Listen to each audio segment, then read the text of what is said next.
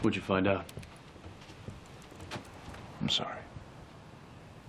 Sorry about what? Marshall Hall died at 417. The exact time I was healed. Yeah. So I put together a list.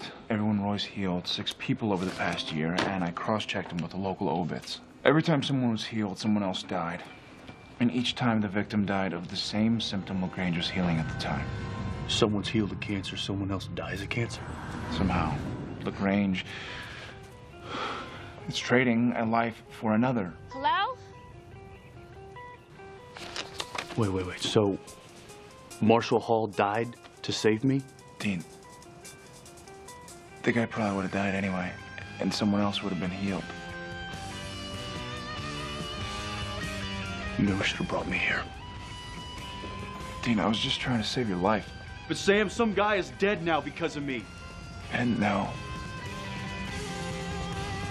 Pray with me, friend.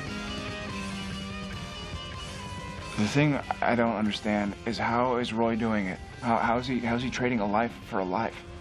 Oh, he's not doing it. Something else is doing it for him. What do you mean?